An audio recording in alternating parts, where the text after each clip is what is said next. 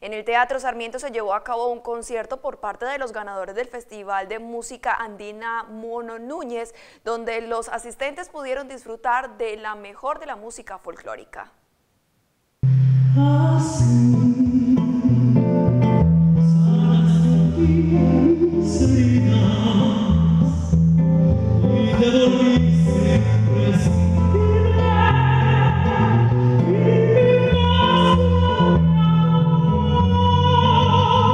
Asael Cuesta fue el mejor solista vocal de este festival en el año 2018 y llegó al municipio a interpretar lo mejor de la música andina. Mono Núñez ha representado la plataforma ideal para cualquier artista que quiera realmente trascender en la música de nuestro país.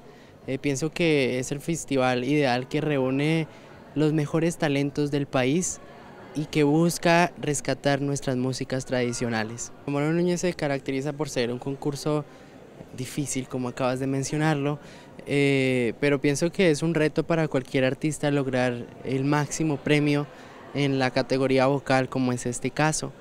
Eh, es un periodo de preparación largo, pero se logró el objetivo, además de llevar la música colombiana con un registro de voz no tan común como es la voz del contratenor. Traemos un concierto variado con compositores colombianos y también música andina colombiana. También resaltó la importancia de no dejar morir el arte y la música.